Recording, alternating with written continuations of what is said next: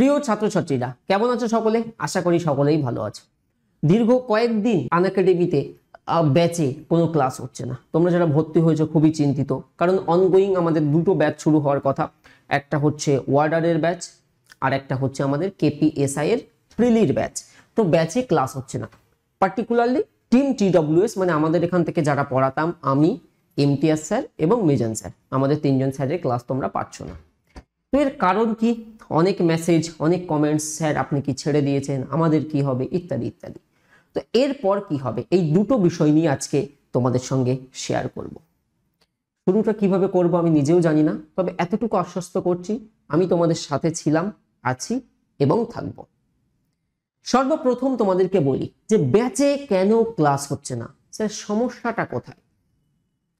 দেখো, দীর্ঘ ছ বছর কম বেশি আমি আন একাডেমির সঙ্গে যুক্ত আছি। দীর্ঘ ছয় বছর, একটা দুটো দিন সময় না।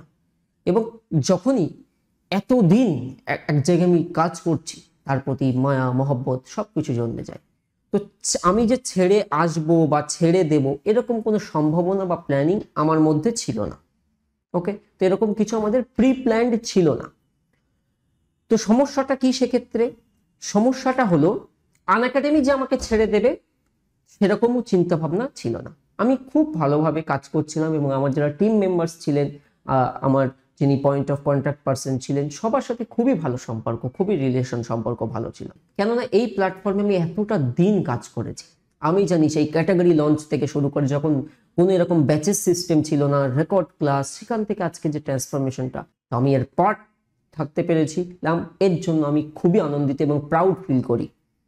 তাহলে স্যার সমস্যাটা কোথায়? পয়েন্টে আসে।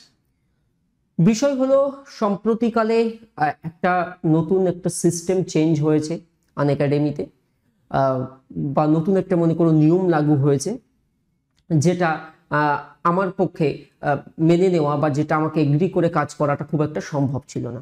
তো এটা নিয়ে আমাদের মধ্যে কয়েকবার মিটিং পত্র ইত্যাদি হয়। কনক্লুশন এটাই যে আমি আর আন একাডেমির সঙ্গে যুক্ত নেই। দেখো, তানারাও ছাড়তে চাননি বা আমিও ছেড়ে আসতে চাইনি। কিন্তু পরিস্থিতি এমন বা একটা কথা আছে না যে ডেস্টিনি ফিউচার ডেস্টিনি কি হবে বা গন্তব্য যে কি হলো, সেটাই কিন্তু বুঝে উঠতে পারলাম ঠিক আছে? সো এমন কিছু সমস্যার কারণে মনে করো ইন্টারনাল একটা এমন একটা সার্কামটেন্স তৈরি হয়েছে, যার ফলে কিন্তু এটা এরকম একটা ডিসিশন হয়েছে। যার মাধ্যমে আমরা কিন্তু বর্তমানে আন একাডেমির পার্ট নই। নাও পয়েন্ট ওন ইজ যে, স্যার, তাহলে ব্যাচ যারা আমরা ভর্তি হয়েছিলাম, সেই ব্যাচগুলো কি হবে? আন একাডেমির সঙ্গে এটা নিয়ে আমি মাল্টিপল টাইম মিটিং কথাবার্তা বলেছি। তো এর সলিউশন এসছে, এর সলিউশন এসছে।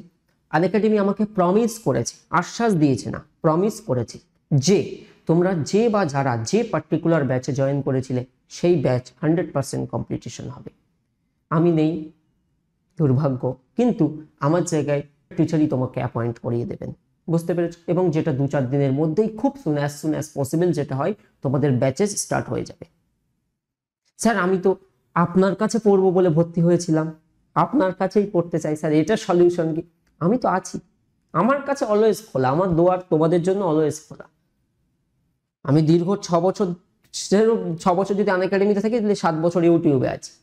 আমি তো ফ্রি ক্লাস করেই যাচ্ছি। তো আমার এখানে সেটা নিয়ে অসুবিধা হবে না, আমি এখানে অলওয়েজ আছি। তো এই হচ্ছে তোমাদের বিষয়। এরপরেও যদি কারও কোনো কোয়ারি থাকে রিগার্ডিং ইওর ব্যাচে ক্লাস হচ্ছে না বা ইত্যাদি, কারণ আমার সঙ্গে কন্ট্যাক্ট করলে তো আমি আর রেসপন্স দিতে পারব না, কারণ তার সঙ্গে আমি আর যুক্ত নেই, তো সেই সংক্রান্ত তথ্য বা লেটেস্ট কি চলছে আমি জানতে পারব না আর। তো এখন থেকে তোমাদের যদি কোনো বিষয় থাকে, সেটাও আমি নিশ্চিত হয়েছি। কোথায় জানাবে?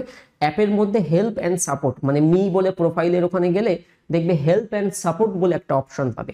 তো হেল্প অ্যান্ড সাপোর্টে তোমরা এই বিষয়টা জানিয়ে দিলে তোমাদেরকে ওনারা রিজলভ করে দেবেন ইন ফিউচার আমার যত ব্যাচ বা আমাদের টিডব্লিউএস টিমের যত ব্যাচ এবার থেকে আমাদের নিজস্ব অ্যাপে আসবে। আশা করি সেখানেও আমরা খুব ভালো একটা এনভায়রনমেন্ট তৈরি করতে পারব। So once again thanks to team Unacademy দীর্ঘ এই সফরের জন্য। অ্যান্ড খুবই গর্বিত ছিলাম আপনাদের অংশ থাকতে পেরে। ধন্যবাদ।